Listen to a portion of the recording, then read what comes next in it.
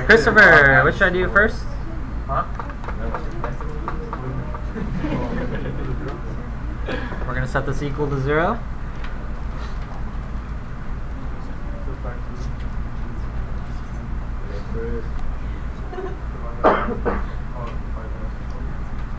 X is equal to. Raise your hand if you got negative two fifths. Yes. Yes, Mario, what should I do next? What should I do next?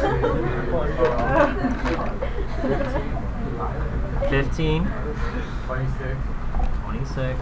and 8. Thank you. David, what should I do next?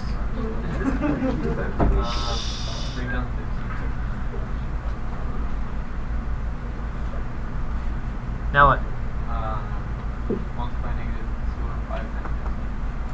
So if I were doing the problem, negative 2 fifths multiplied by 5 times 3 over 1.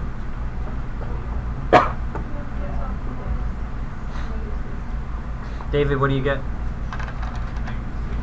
Yeah. Did you guys see why I broke that down? Mm-hmm. So you can just cancel. You guys get scared of fractions. Just 15 is 15 over 1, and 15 is 5 times 3. I picked 5 times 3 because I have a factor here. So I get negative 6.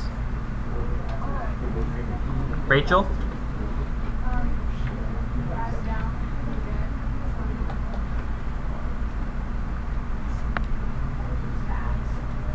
Rachel, uh, 20, what are my factors? Cancel my 5s. When you multiply, you get what? Raise your hand if you got negative 8. Down, you get 0. Chrissy, what does this turn into? 15x plus 20. Raise your hand if you got that. So in the fractions, just don't be, uh, you'll see it. Don't be scared. You already know you need to multiply them. Break them down into factors so you can cross cancel and just multiply across.